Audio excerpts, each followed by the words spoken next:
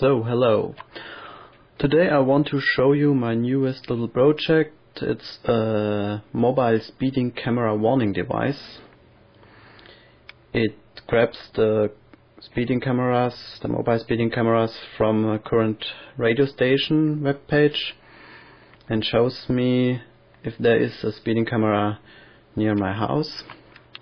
It consists of a Arduino prototyping platform for a microprocessor and a Superflux RGB LED which I've got from eBay last week. I've got uh, many of these and standard type 2 and those SMD types. So I built a little diffuser for the LED to get a better result of mix of the colors. And the LED is driven by this ULN driver IC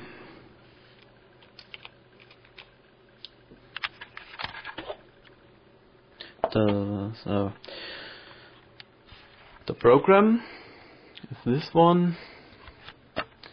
It loads the mobile speeding cameras from the web page of the local radio station and compares them to regular expressions which can show me uh, specific radar cameras.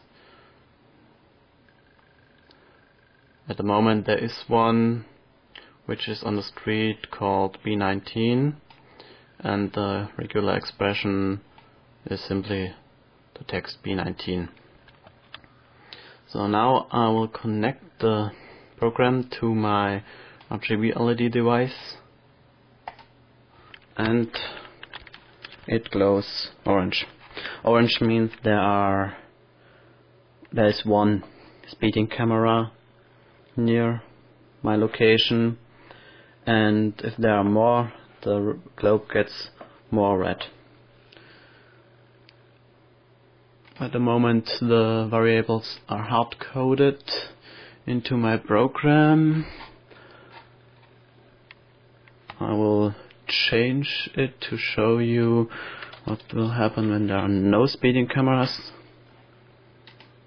One moment. So Okay, there's a little problem. I will reset the device. And we try it. Yes. No, it works.